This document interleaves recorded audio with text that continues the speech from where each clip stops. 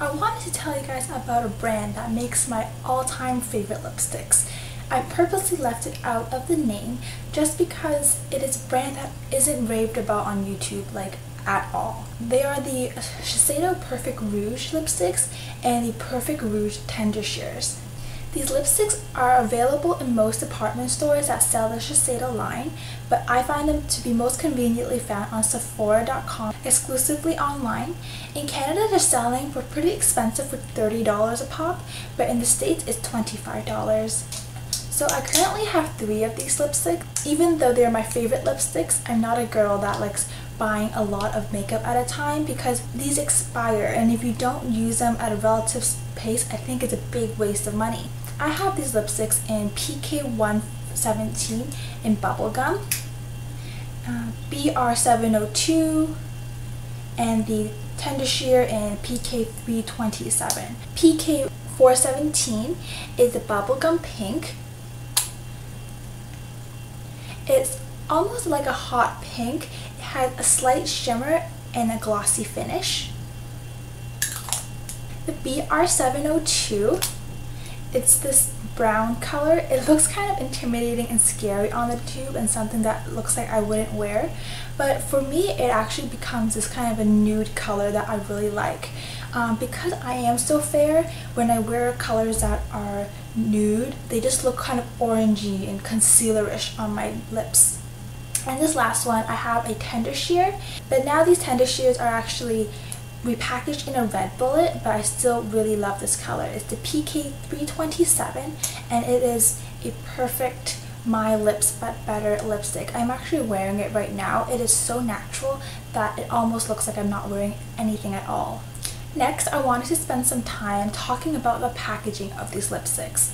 It, I think it fits Shiseido very, very well because from afar they just look very conservative, very traditional, almost like a round lipstick that you can find in the drugstore. But up close, you really gain to appreciate all the detail that they put into this product. And I really appreciate a product a lot more and I feel like I can justify a price like that when I see all the attention to detail that a company puts into packaging, formulation, and all of that above. So first off, this kind of lies on a counter. It just looks very typical, very bland.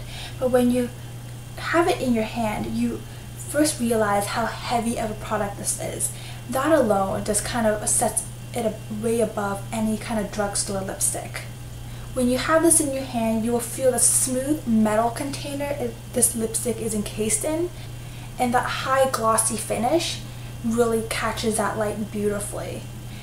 Another factor that it kind of has that sparkle to it when you kind of move it around in the light is because of the irregular packaging. It isn't completely circle, it is actually almost like a square with rounded corners.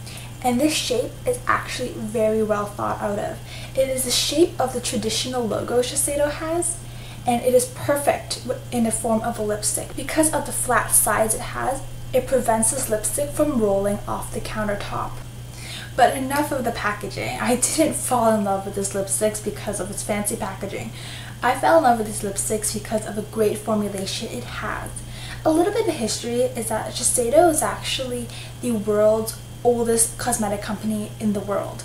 I know nowadays it's more known for its skincare, but it has over 140 years experience of making makeup. And this lipstick really shows that high quality makeup as well as that high quality skincare that they're really known for now. I generally hate wearing lipsticks. It's something that I love buying before just because of all the fun colors that you can put on your lips. But every time I wear a lipstick, it just makes my lips feel very dry where it peels off. Something very similar that Review talks about all the time.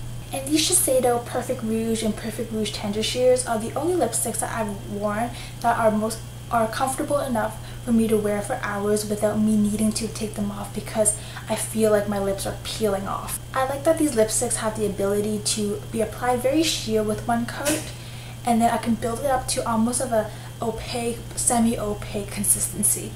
Overall, I would really recommend these lipsticks to everyone. The downfalls of these lipsticks are one, they are very expensive.